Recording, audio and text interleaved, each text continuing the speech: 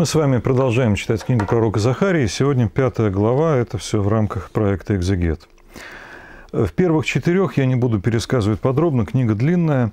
Говорится о видениях, в основном после такого краткого предисловия, о греховности Израиля, о том, что все было плохо, но сейчас начинает меняться. И эти видения довольно странные. Мы говорили, что Захария даже как-то сам не очень понимает, переспрашивает ангелов, которые там присутствуют, и в некотором недоумении. И в частности, в этих видениях присутствует семисвешник, одно из ритуальных главных таких э, явлений или предметов, лучше сказать, в Иерусалимском храме, и две оливы по его бокам, первосвященник Иисус и э, политический вождь или э, наместник Персидской империи Зарубавель. И вот они вдвоем, собственно говоря, дают масло для этой оливы, для этого храма. Пятая глава переходит к другой теме. Я снова поднял глаза и увидел летящий свиток. Ангел спросил меня, что ты видишь? Он постоянно спрашивает, то есть как бы в видении есть еще этот элемент э, узнавания. Не просто пророк получает некоторую информацию, а он должен понять сам, что он видит, он должен как-то вложиться в это видение тоже – я ответил, вижу летящий свиток длиной в 20 локтей и шириной в 10. Ну, то есть очень большой локоть, вот он у каждого из нас есть, то около полуметра. Да, то есть 10 метров длиной и э, шириной в 5 метров. Огромный свиток, это транспарант какой-то громадный. И, конечно, его нельзя считать свитком, тогда книги были в виде свитков, обычным, на котором пишется какой-то текст для того, чтобы его передать людям. Это некоторый божественный свиток, некоторый текст, который приходит на землю совершенно особенным образом. Он объяснил, ангел, это проклятие, нисходящее на всю землю. Всякий вор будет истреблен, как написано на этой стороне, а всякий клятвопреступник, как написано на той. Ничего себе. Э, нужен плакат размером 10 на 5 метров, чтобы сказать, всякий вор будет истреблен. А короче нельзя было это сказать. Для этого нужен крохотный, вот маленький клочок бумаги. Этого листа бумаги много, который у меня в руках с текстом моего собственного перевода, который я комментирую. Э, да нет, видимо, оказывается, вот этот огромный размер, то ли это очень важная весть, и поэтому она большими буквами написана, то ли этот вор и клятвопреступник перечислены поименно, да, и там, собственно говоря, список тех, кто так или иначе пострадает, мы до конца не знаем. Но во всяком случае оказывается, что э, вот от Бога приходит какая-то такая огромная весть. Я пошлю его пророчество Господа воинств в дом того, кто крадет, и в дом того, кто ложно клянется именем моим. Она останется там и разрушит дом, и балки, и камни. То есть, смотрите, дом разрушается не от землетрясения, не от нашествия врагов, не от каких-то внешних действий, а от Слова Божьего, которое в него приходит. Подобно тому, как в творении мира «И сказал Бог, да будет свет, и стал свет». Здесь это даже не э, устное слово, а отдельный свиток, который прилетает. Но в любом случае от Слова все и происходит. Не нужны даже внешние действия. Хотя и они, конечно, могут быть, и э, всевозможные бедствия, и войны, и все прочее. Тогда говоривший со мной ангел выступил вперед и сказал, «Посмотри, что это приближается?» Я спросил, что же это? И он ответил, «Это мерная корзина». Ну, что такое мерная корзина? Ефа э, в старых переводах. Люди продавали зерно, например, ну и другие сыпучие всякие товары, но прежде всего зерно.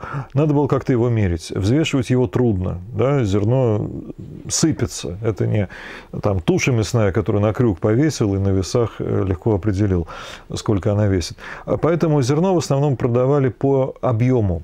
И были такие вот корзины, литров 20 на современный счет. Э, ЕФА, вот было понятно, сколько зерна продано.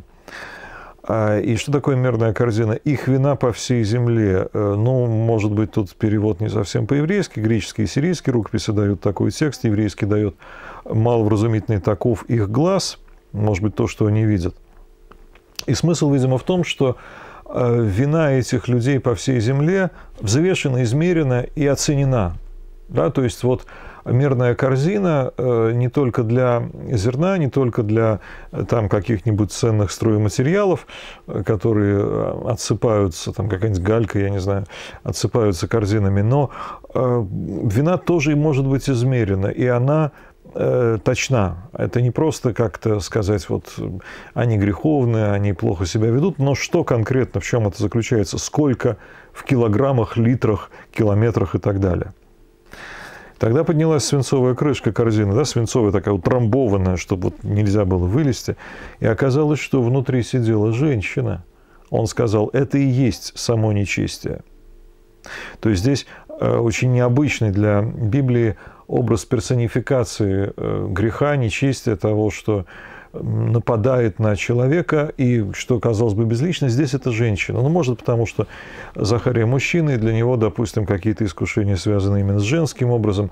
Но э, дело даже не в этом, это ведь все в конечном счете человеческое, да, и э, поэтому человеческий образ может быть использован для передачи этой идеи вины, греха, нечестия.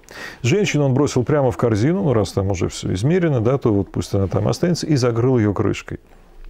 Я посмотрел и увидел двух женщин, крылья были полны ветра. У них были крылья, как у аистов. Они понесли корзину между небом и землей, а я спросил говорившего со мной ангела, куда они понесли корзину. Он ответил, в долину Шинар, чтобы устроить там ей дом, и когда все будет готово, она будет водружена на свое место. Долина Шинар – это, э, собственно, Вавилония. Так э, упоминается она еще в книге «Бытия», в строительстве Вавилонской башни. Именно долина Шинар э, – место, где это строительство начинается. Здесь отсылка одновременно вот к этой истории с самого начала человечества, но и про будущее, про то, что Вавилон, вот эта вот такая блудница – она э, будет потом вспоминаться и в Новом Завете, скорее всего, под ее именем будет иметься в виду Рим, новая мировая империя.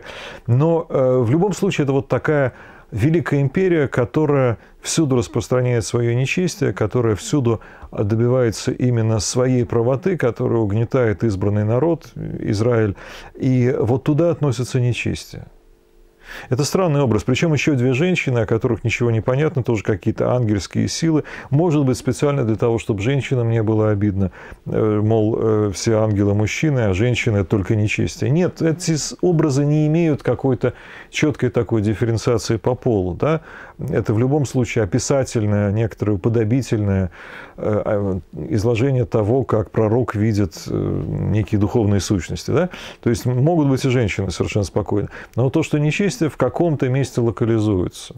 Ну, как, э, допустим, в России есть зоны, где можно заниматься игорным бизнесом. Больше нигде нельзя в этих зонах.